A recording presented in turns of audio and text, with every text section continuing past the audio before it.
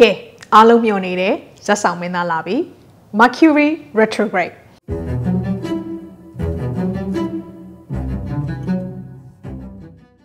မင်္ဂလာပါ Hello Queens and Kings ဒီဗီဒီယိုကိုမျှော်နေမယ်ဆိုတာကိုကြပုံသိတယ် ဒီဗီဒီယိုကအချက်လက်တွေ information တွေလည်းအရန်များတယ်ကိုကခုချိန်မှာတထိုင်နဲ့မကြည့်နိုင်သေးဘူးဆိုတဲ့ခါကျရင်ကျေးဇူးပြုရေး save လုပ်ထားပါသိမ်းထားပါနောက်မှကိုပြန်ကြည့်ပါအရေးကြီးတဲ့ highlight တွေကိုရမုံပြောပြသွားမယ်အဓိကက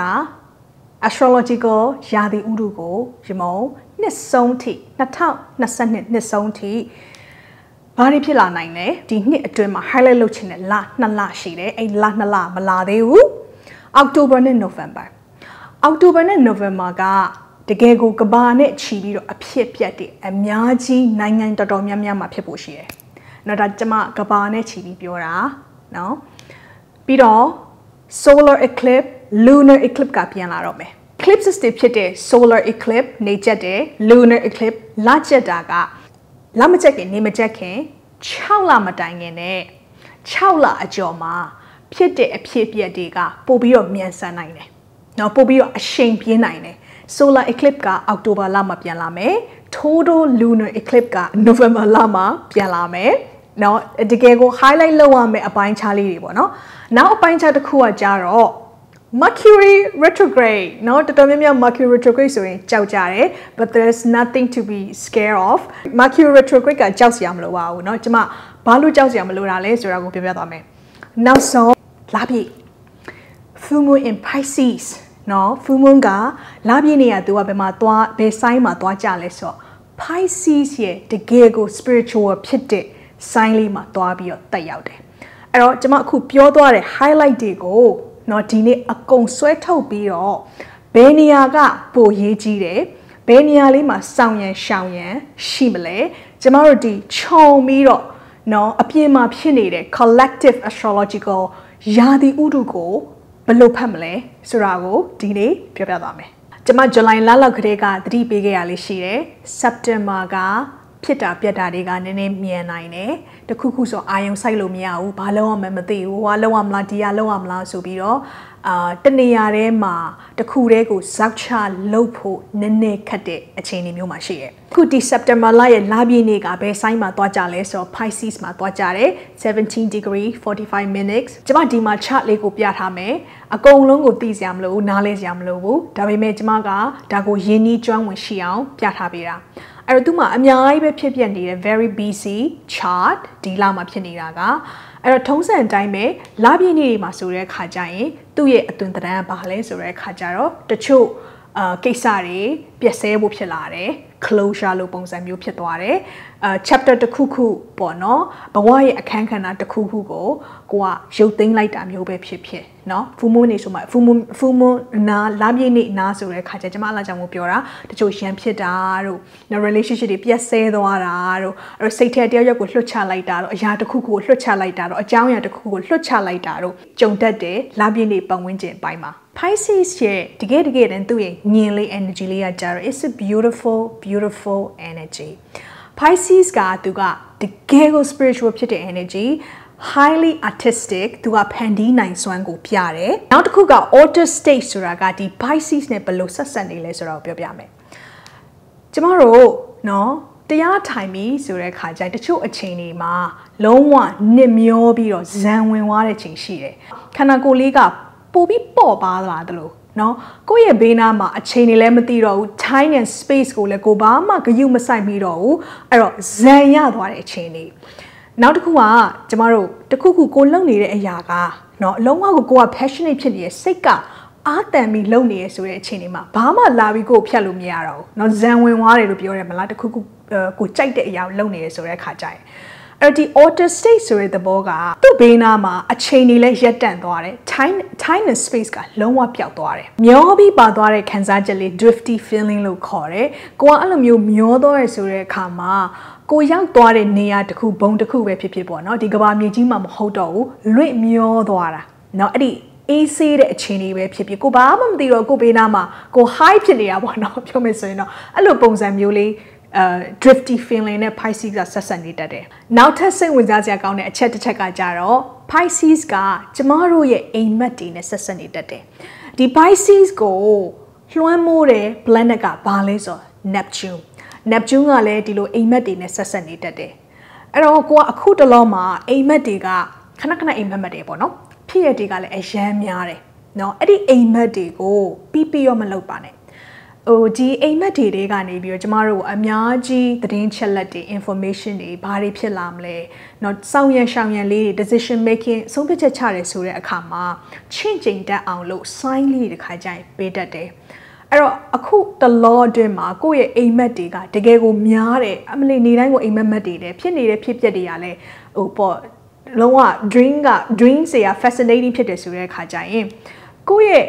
အိယာအိယာနိုးပြီဆိုတဲ့အခါကျရင်ဘေးနားမှာ journal journaling လုပ်ဖို့စာချရေးဖို့ကျမဒါကိုတော့ dream diary လို့ခေါ်တယ်။နော်အဲ့တော့အခုတလောအဲကျမတို့အိမ်မက်တွေကအရန်ကိုများတဲ့ intense ဖြစ်တယ်။အဲ့တော့ကိုဘာကိုအိမ်မက်မက်လဲမနဲ့မိုးလင်းလာပြီဆိုတဲ့အခါကျရင်ချရေးဘာဖြစ်လို့ဆိုတော့အဲ့ဒီအိမ်မက်တွေတဲကနေပြီးတော့ကိုကို လမ်းညွှန်ပေးနိုင်တဲ့ sign လေးတွေရှေ့ကိုဘယ်လိုသွားရမလဲဆိုတဲ့ guidance လေးတွေပေးတတ်တယ်။ sign တွေတိုင်းမှာအကုန်လုံး positive ဖြစ်တဲ့အသွင်အပြင်ပဲရှိတာမဟုတ်ဘူး။တခါလေကျရင်တိတ်ပြီးတော့အပြုသဘောမဆောင်ဘူး။ less positive ဖြစ်တဲ့ညင်လေးတွေလည်းရှိတယ်။ Pisces ဆိုရင်သူ့ရဲ့နည်းနည်းအပြုသဘောမဆောင်တဲ့ညင်လေးက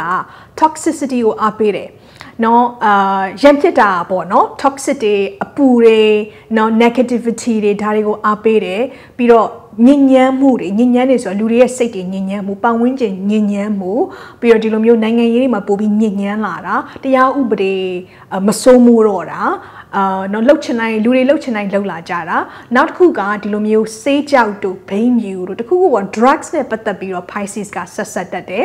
အဲ့တော့တခုခုကိုစွမ်းလန်းစွမ်းလန်းနေတာပေါ့နော်ဆေးကိုစွမ်းလန်းနေတာတို့အဲဆေးဖြတ်လို့မရတာတို့အဲ့တော့ပြောမယ်ဆိုရင်တော့ ဒီလိုမျိုး illusion တွေပေါ့အပေါ်ယံမှာတော့ကိုကတော့ဒီကျမတို့ drugs သုံးပြီဆိုတဲ့ခါကျရင်เนาะဟိုမှာဆေးကြောက် drugs ပေါ့ဒါချပြီဆိုတဲ့ခါကျရင်ခုနကကျမအရှိမပြောခဲ့တဲ့ alter state ဆိုတာအဲ့ကိုရောက်သွားတတ်တယ် less positive ဖြစ်တဲ့ side ကကျအဲ့ကိုရောက်သွားပြီဆိုတဲ့ခါကျရင်ကျမတို့က drifted apart ဖြစ်သွားတယ်เนาะဒီကဘာမြေကြီးမှာမရှိတော့မမျောပြီးတော့အဲကြောင့်မကောင်းနေတဲ့ high ဖြစ်နေတဲ့ဆိုတဲ့ feeling လေးကဒါကိုကျမတို့ alter state လို့ခေါ်တယ်ဆိုတော့ဒီ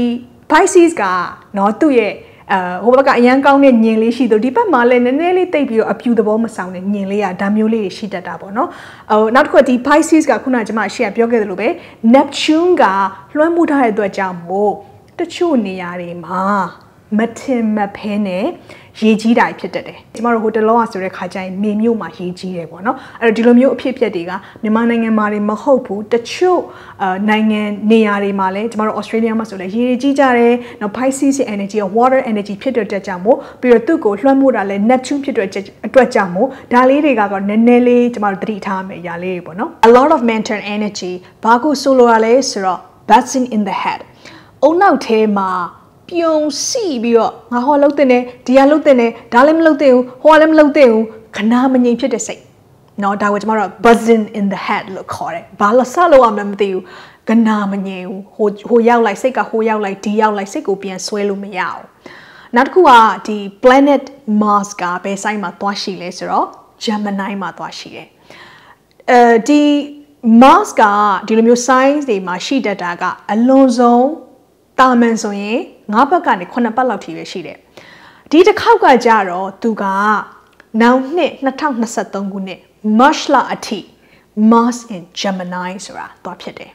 အဲ့တော့ Gemini ကတည်တဲ့အတိုင်းပဲကျမတို့ air sign ဖြစ်တယ် Gemini ကိုဘာကလွှမ်းမိုးလဲဆိုတော့ Mercury planet ကလွှမ်းမိုးတယ် Mars ကဘာအလုပ်လုပ်လဲဆိုတော့သူက तू သွားပြီးတော့သွားထိလိုက်တဲ့အရာတွေဒီ signs တွေကို तू ကပို့ပြီးတော့အားပေးတယ် activate လုပ်တယ် ဒါကိုပို့ပြီးတော့ magnify လုပ်တယ်အဲ့တော့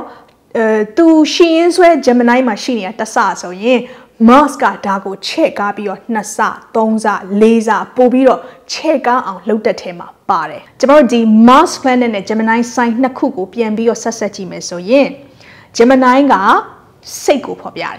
mind mental energy ကိုဖော်ပြတယ် Mars က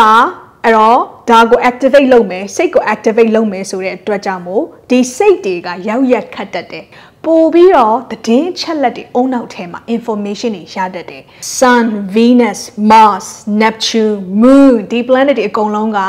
mutable sign မှာသွားကြတယ် mutable sign က Gemini Virgo Sagittarius Pisces အဲ့တော့သူ့ရဲ့ mutable sign ရဲ့ညင်လေးอ่ะကြတော့သူကတခုခုဆိုရင် ပြုတ်ပြင်ပြောင်းလဲနိုင်စွမ်းရှိတယ် adaptable ဖြစ်တယ် flexible ဖြစ်တယ်တောင့်တောင့်ကြီးမဟုတ်ဘူးခေါင်းမမာဘူး go with the flow ပပပပနဲ့တည်ရမလားအဲ့တော့နည်းနည်းလေး chill ဖြစ်တဲ့တဲမှာပါတယ်အဲ့တော့ဒီ planet တွေအကုန်လုံးကအဲ့ဒီ sign မှာကျမတို့ mutable sign တွေမှာသွားရှိရတဲ့အတွက်ကြောင့်မို့နော်တခါလေကြာရင်ကိုယ့်ရဲ့စိတ်တွေက စူးစီးလို့မရအောင် scatter ဖြစ်နေတာဟိုရောက်လိုက်ဒီရောက်လိုက်ဟိုတွေးလိုက်ဒီတွေးလိုက်စိတ်တွေကပုံမှန်မဟုတ်ဘူးเนาะ light ဖမ်းလို့မရဘူးဒီစိတ်ကိုအဲ့တော့အဲ့လိုမျိုးလေး scatter ဖြစ်တဲ့အခြေအနေမျိုး scatter ဖြစ်တဲ့ energy မျိုးကိုတော့အခုဒီလအတွင်းမှာနည်းနည်းလေးခံစားရလိမ့်မယ် UNS ရဲ့ energy ကဒီ2022မှာတကယ်ကိုလွှမ်းမိုးမှုရှိတယ်လို့ကျွန်မအမြဲတမ်းအသားပေးပြီးပြောခဲ့တယ်အဲ့တော့ UNS ကကြာတော့တခုခုဆိုရင်တော့ shock ပြန်လုပ်လိုက်တာเนาะအဲပေါ့ တုံခါသွားအောင်လှုပ်ခါသွားအောင်เนาะသတင်းတွေကကိုမထင်ထားတဲ့အရာတွေအဖြစ်အပျက်တွေမထင်ထားတဲ့အရာတွေအဲ့တော့ UNS ကသူကမီးတောင်တွေပောက်ကွဲရနဲ့ဆက်ဆက်တယ်။ဒါပြင်နိုင်ငံရေးနဲ့ပတ်သက်တာစီးပွားရေးနဲ့ပတ်သက်တာเนาะကျွန်မဒါကိုအတူချုပ်ပဲပြောလိုက်မယ်။အဲ့တော့ဒီ September လောက်မှာဒီ Canada မှာပေါ့เนาะ Canada နိုင်ငံမှာသူတို့ဒီ leadership နဲ့ပတ်သက်ပြီးတော့သူတို့ government ပုံစံဖွဲ့စည်းပုံနဲ့ပတ်သက်ပြီးတော့အပြောင်းလဲရှိတယ်။အဲ့တော့ဒီ Canada နိုင်ငံရဲ့ identity တစ်ခုကပြောင်းလဲဖို့ရှိတယ်။ identity switch လိုမျိုးပြောင်းလဲဖို့ရှိရပေါ့နော်နောက်တနိုင်ငံကကြတော့ China တရုတ်ပြည်မှာသူတို့အစိုးရအုပ်ချုပ်မှုနဲ့ပတ်သက်ပြီးတော့ government နဲ့ပတ်သက်ပြီးတော့အဲ leadership ခေါင်းဆောင်မှုနဲ့ပတ်သက်ပြီးတော့အပြောင်းလဲမျိုးတွေရှိနေတယ်နောက်ဆုံးနော် US United States အာကျွန်မအရှိမ US Pluto return ဆိုတာလေးကိုပြောပြခဲ့တာမျိုးရှိတယ်အဲ့တော့ US ကသူ့ရဲ့ရွေးကောက်ပွဲက November ဆိုပြန်လာပြီဆိုတော့ US ရဲ့စီးပွားရေးနိုင်ငံရေးတွေကလည်း နော်လုံးဝကိုမတူဘဲနဲ့သူ့ရဲ့နောက်ထပ် identity တစ်ခုကိုပြောင်းမှုရှိတယ်ဗီဒီယိုစာပိုင်းမှာကျွန်မ mention လုပ်ခဲ့သလိုပဲ October November ကကဘာတဝန်းလုံးမှာရှိတဲ့အဖြစ်အပျက်တွေ events တွေက massive အကြီးအကျယ်တစ်ခါမှမကြားဘူးလေရတယ်။နော်လှုပ်ကိုင်းပြင်းမဲ့အရာတွေနော်နည်းနည်းလေးကြမ်းမယ်နည်းနည်းလေးညံ့မယ်။ကဲအားလုံးမျှော်နေတယ်ဇက်ဆောင်မင်းသားလာပြီ Mercury retrograde Mercury retrograde က September 9ရက်10ရက်နေ့လောက်ကြာရင်ပြန်ပြီးတော့ဝင်လာပြီ။သူကဘယ်ဆိုင်းမှာသွားရှိလဲဆိုတော့ Libra မှာသွားရှိတယ်။တော်တော်များများက Mercury retrograde အပိုင်းခြားကာလဆိုတဲ့အခါကျရင်ကြောက်ကြတယ်။နော်တော်တော်ကြီးကိုဒီအပိုင်းခြားကဒုက္ခတွေများတော့မယ်အစင်မပြေတရားစရာတွေများတော့မယ်ဆိုပြီးတော့အချောက်ခံရတာမျိုးလည်းရှိရှိပဲ။ Now but nothing to be scared of ကျွန်မပြောပါတယ်။ astrology ဆိုတာကလူတွေကိုခြောက်တဲ့ပညာရဲ့မဟုတ်ဘူးသူကကျမတို့ကိုပို့ပြီးတော့တတိထားမိလာအောင် awareness တွေရလာအောင် decision making တွေပိုကောင်းလာအောင်เนาะပို့ပြီးတော့ရွေးချယ်မှုတွေမှန်ကန်အောင်လက်ညွန်ပေးနိုင်တဲ့ပညာရဲ့တရက်နော်ဆိုတော့ whoever trying to scare you about Mercury retrograde that is not true astrology အဲ့တော့ဒီ market retrograde ကာလအတွင်းမှာကျမတို့ကအဓိကကအရေးကြီးတာဘာလုပ်ရမှာလဲဆိုတော့သူကအကုန်လုံးကိုပြန်ပြီးတော့သုံးသပ်တဲ့ကာလ review လုပ်တဲ့ကာလ reflect လုပ်တဲ့ကာလသူရဲ့ sign က Libra မှာလည်းသွားရှိရတဲ့အတွက်ကြောင့်မို့ Libra ကသူကအကုန်လုံးကို balance ပြန်လုပ်တယ်ချိန်ခွင်းဆိုတော့ပြန်ပြီးတော့ချိန်ညှိရတဲ့မှာပါတယ်အဲ့တော့ကိုလုံးမဲ့ decision တွေကို तू ကတခုခုကိုကလူတယောက်ကိုမပြောခင်မှာ think before you speak လှုပ်ခနဲ့ဒိုင်းခနဲ့ blunt ဖြစ်ပြီးတော့ကိုပြောချင်တာမပြောဘဲနဲ့ပြန်ညှိပါတဲ့ think before you speak ကိုစကားအပြောအဆိုတွေကိုစင်ကြင်ပါဥစံတိုင်းသူကတခါလေးကြာရင်စက်ပစ္စည်းတွေရုပ်တရက်ပြတ်တတ်တယ်เนาะကောင်းနေတဲ့သုံးနေတဲ့ပစ္စည်းတွေကဝန်းနေတိုင်းကနေပြတ်သွားတယ် live လုပ်နေနေပြုတ်ကျသွားတယ်အဲကွန်ပျူတာကသွင်းထားတာက battery ရှိနေနေချက်ချင်း battery ကုန်သွားတယ်အာเนาะဒီလိုမျိုးတွေပေါ့เนาะ service နဲ့ပတ်သက်ပြီးတော့ဒါထုံးစံတိုင်းဖြစ်တတ်တယ် Mercury retrograde ကကျမတို့ကိုဘာတွေသင်ပေးမှလဲဘယ်လိုမျိုး lesson တွေပေးမှလဲဆိုတော့အရန်ကြီးဖြစ်ချင်တာတွေလှုပ်ချင်တာတွေကိုအတင်းကိုတွန်းပြီးတော့ pushing too hard အဲ့လိုလုပ်တယ်ဆိုအဆင်မပြေဘူး you have to chill you have to relax ပပပပငိမ့်ငိမ့်ညောင်းညောင်းနဲ့တချို့အရာတွေကအလုံးမဖြစ်ဘူး เนาะကျမတို့မှာအချိန်နဲ့အတိုင်းတာ timing ဆိုတာရှိတယ် so when you push too hard ကိုကိုကိုလည်းစိတ်ထောင်းကိုကြည်လောက်တက်တယ်ကျမတို့ကဖြစ်ကျင်စောတွေရှိရဆိုတဲ့ကအဲ့တော့ကိုကအချိန်မတိုင်သေးဘူးမဖြစ်လာသေးဘူးဆိုတဲ့အခါကျရင် ဒီကာလအတွင်းမှာကျမတို့ပြန်ပြီးတော့သုံးသပ် review လုပ် reflect လုပ်ကိုယ့်ရဲ့ decision တွေကိုယ့်ရဲ့ဆုံးဖြတ်ချက်တွေကိုတော့တေချာလေးပိုင်ပိုင်နိုင်နိုင်စဉ်းစားပြီးမှ ဆုံးဖြတ်အဲ့တော့အမြဲတမ်းကျမတို့က Mercury retrograde ကြောင့်မို့ကျမဒီလိုဖြစ်သွားတယ် Mercury retrograde ကကျမတို့မကောင်းဘူး not really နောက်ဆုံးကျမတို့လိုချင်တဲ့စိတ်ဆန္ဒလေးကဘယ်ဘက်ကိုတိတ်ညွတ်သွားတာလဲကိုယ့်ရဲ့ free way ကဘယ်ကိုသွားချင်တာလဲဘယ်လိုမျိုးဥတည်ကျင်တာလဲเนาะဘယ်လိုမျိုးလမ်းပြကျင်တာလဲကိုကိုကိုဘယ်လိုလမ်းပြကျင်တာလဲဆိုတာကိုမူတည်ရယ်เนาะအဲ့တော့ planet ကိုကျမတို့အပြစ်ပုံချလို့မရဘူးဒီထက်ပိုပြီးလေးလေးနက်နက်ပြောရမယ်ဆိုရင် Mercury, Jupiter, Saturn, Uranus, Neptune, Pluto ဒီ planet တွေအကုန်လုံး retrograde ဖြစ်နေတယ်လေးလေးနက်နက်လေးပြောတယ်တော်တော်လေးလေးတယ်เนาะအဲ့တော့ဒီ planet 6လုံးလုံးကလည်းเนาะ retrograde ဖြစ်တဲ့အတွက်ကြောင့်မို့တချို့အခြေအနေမှာဘာလှုပ်လှုပ်လှုပ်လို့မရဘူးဘာမှဘာမှလှုပ်ချင်ကင်ချင်စိတ်မရှိဘူးလှုပ်တဲ့အရာတွေကမဖြစ်လာသေးဘူးတနေရာမှာ block ဖြစ်နေသေးတယ်ဆိုတဲ့အခါကျရင် don't push too hard အဲ့တော့ပြန်သုံးသပ်နော်ကျမတို့2022ကိုပြန်သုံးသပ် reflect လုပ် review လုပ်နော်အဲ့တော့ဒါကဒီ retrograde တွေရဲ့ theme retrograde တွေမှာဘာကို highlight လုပ်တာလဲဆိုတဲ့အခါကျတော့ you have to relax you have to sit down you have to chill နောက်ဆုံး take away message လေးတစ်ခုအနေနဲ့အခုလိုမျိုးအကြက်အသေးတွေဖြစ်တဲ့အစင်မပြေတဲ့เนาะအဲ့တော့အ ထိန်အချုပ်တွေရှိတဲ့အချိန်တွေမှာကိုယ့်ရဲ့စိတ်ကိုမပြန့်သွားအောင် scatter မဖြစ်သွားအောင်ဘယ်လိုမျိုး manage လုပ်ရမလဲဆိုတာလေးကိုကျွန်မလုပ်နေတဲ့နည်းလေးနဲ့ပြောပြမယ်မနေ့မိုးလင်းလာတယ်ဆိုတဲ့အခါကျရင်ဘာတွေဖြစ်နေလဲရွှေဈေးဒေါ်လာဈေးနိုင်ငံရေးဘာတွေဖြစ်နေလဲမုန်းလင်းတာနဲ့ဖုန်းကိုလုံးဝလုံးဝမကြည့်မိစေပါနဲ့။တော့ဒါကျမနီးလေးကျမလည်းမကြည့်ဘူး။ကြည့်လိုက်တာနဲ့စိတ်ကအမှ scatter ဖြစ်သွားပြီ။စိတ်ထဲမှာ အလဲပခိုးမှာနှလုံးသားမှာချက်ချင်းမြတ်တာဂယုဏတရားကိုကျင်းစာစိတ်ဒါတွေရှိဖို့ဂိမ်းအောင်ဖို့ကနည်းနည်းခိတ်ခက်ခဲသွားပြီအဲ့တော့ကျွန်မပြောတာကတကယ်ကို toxic positivity အကုန်လုံးကို positive ဖြစ်ရမယ်ဆိုတဲ့သဘောမဟုတ်ဘူး negative ဖြစ်တဲ့ energy လေးကရောက်လာတတ်တယ်ဒါပေမဲ့ကိုကအမြဲတမ်းကိုယ့်ရဲ့ state of being ကိုငြိမ်းချမ်းမှုကို practice လုပ်နေတဲ့သူတစ်ယောက်က အပြင်ကသတင်းတွေ မှုရင်းတွေအစင်မပြေတာတွေကုံစင်းနှုံးတက်တာတွေနော်အဲ့တော့ကြောင်းနဲ့ကြောင်းနဲ့ရန်ဖြစ်တာတွေပွဲတွေဖြစ်တာတွေဒါတွေကကိုယ့်ရဲ့ internal နော်ကိုယ့်ရဲ့ inner wall တွေကိုအတွင်းကျတဲ့နေရာတွေကိုထိုးထိုးဖောက်ပြီးတော့မဝင်လာနိုင်တော့ဘူးကိုက practice လုပ်ထားလို့ဆိုတဲ့အခါကျရင်နော်အဲ့တော့ကျမကတော့မနဲ့မုန်းလင်းပြီဆိုတဲ့အခါကျရင်ဟိုးရင်တော့ဗီဒီယိုတစ်ခုထဲမှာတော့ပြောခဲ့ပို့တယ်ဘလောက်ပဲခန္ဓာကိုယ်ကြီးကလေးနေပါစေမထကျင်ပါစေ နော်ကိုယ့်ရဲ့ဒီကတင်အောက်ကကျန်းပြင်ကိုချလိုက်တာနဲ့ကျမထអော်တယ်မနဲ့မုန်းလင်းနိုင်ပါ Today is going to be great. Today is going to be great. Today is going to be great. အဲ့ဒီစကားလုံးနဲ့ကျွန်မထားတယ်။ဒီနေ့ကဘာပဲဖြစ်ဖြစ်အဆင်ပြေတဲ့နေ့ကောင်းတဲ့နေ့ဖြစ်ရမယ်။အဲ့တော့ဒီ practice လေးကိုလုပ်ကြည့်ပေါ့နော်။တော်တော်များများအာ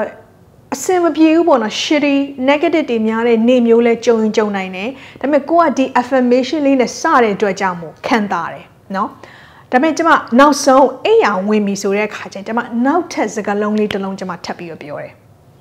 Today I have done enough ဒီနေ့ငါလုပ်ခဲ့တဲ့အရာတွေကငါကျေနပ်တယ်လုံလောက်တယ်ဒီထက်လည်းပို့ပြီးတော့ ငါဘာကြီးလုံးဝမှလည်းမသိဘူးဒါတွေလောက်ဆရာကြီးရှိတယ်ဒီနေ့လည်းဒါမပြီးခဲ့ဘူးငါပြင်းသွားလို့ငါလုံမိလုံလုံရမယ့်အရာတွေကြံခဲ့တယ်နော်ငါအချိန်ဆွဲလိုက်မိတယ်ဒီအတွေးတွေကျွန်မတက်နေသလောက်မအိတ်ခင်မှာဝင်အောင်မလုပ်ဘူးနော် before bed time မှာအဲ့တော့ကိုယ့်ကိုပြန်ပြီးတော့ ground yourself လုပ်ပြီးတော့ today i have done enough ဒီနေ့ငါလုပ်ခဲ့တဲ့အရာတွေကပြည့်ပြည့်စုံတယ်လုံလောက်တယ်ဘာမှစောတကတက်စရာမရှိဘူးနော်အဲ့ဒီ practice လေးနဲ့ စကြည့်ပါ